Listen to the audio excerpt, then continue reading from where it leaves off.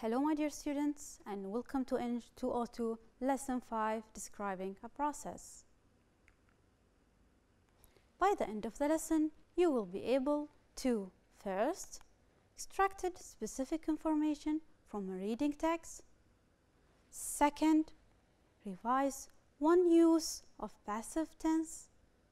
And finally, write an article describing a process. Now, let us learn about the passive form. Let's read this example together. Nowadays, food is sold through applications. Is sold. Is sold is the passive form. When a verb is written without knowing who's done it, it becomes passive. So, if you find in a sentence a verb without knowing who done that verb, it means you are reading a passive form. Now, find the passive form in the following text. Let's read it together and find the passive form. I'll read it for you first. Okay, let's start. Coffee is a very famous and delicious drink that people love all around the world. Coffee is a drink all day, whether with a breakfast in the morning or with a piece of dessert in the afternoon. Sometimes coffee is enjoyed right before bedtime. To make coffee, first the coffee beans are taken from the trees in the forests. Then the beans are dried in the sun and roasted. After, the beans are cooled rapidly before being ground. The beans then get mixed with water for storing and freezing. Finally, the frozen mixture is ground once again before it's packed to the bags or jars and sold to stores everywhere for you to buy and enjoy at home or at a coffee shop. Now, let's try to find out where are the passive forms. I'll give you some time to figure out.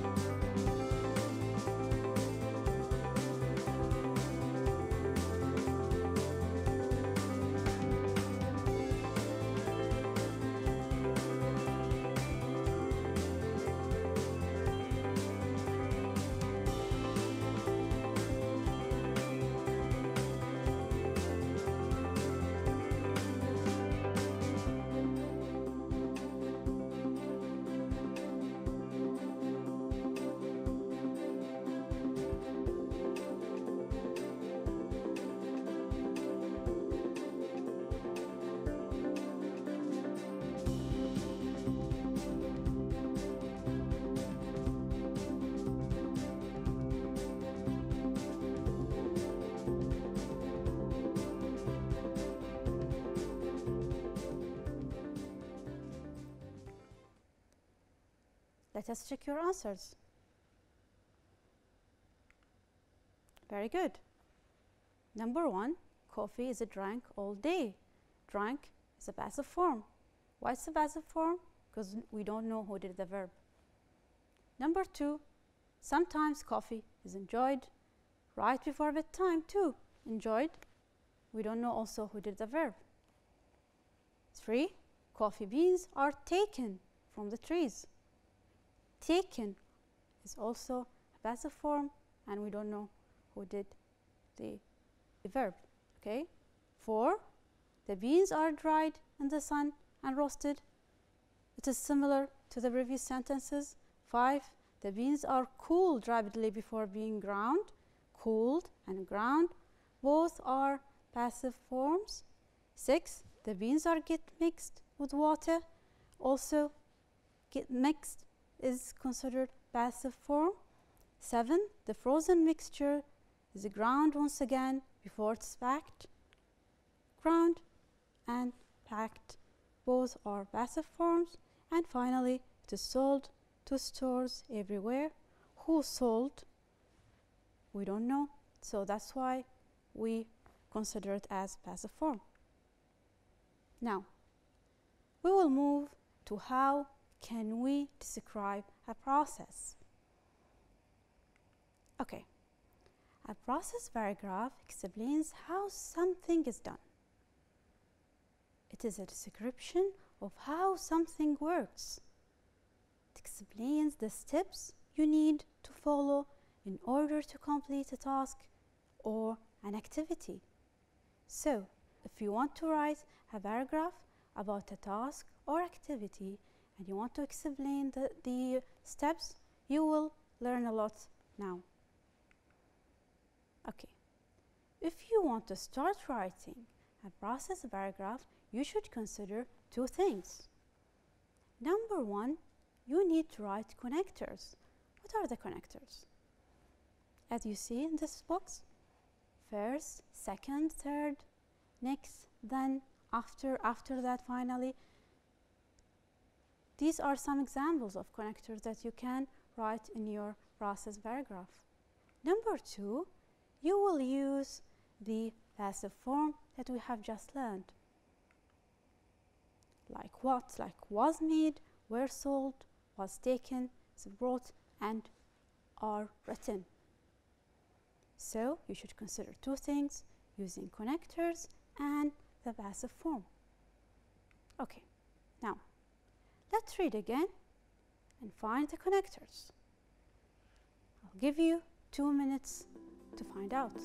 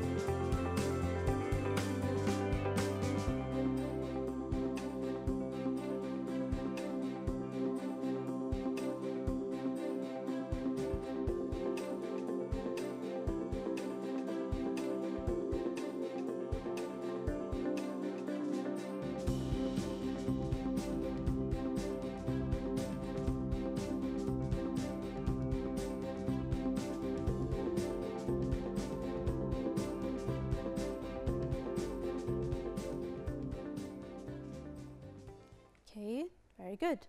As you see, first is a connector, then after, and finally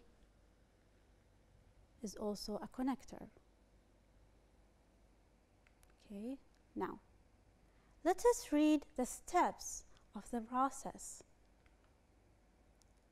The same text that we have just read. I'll give you some time to underline or to find out the steps in this process.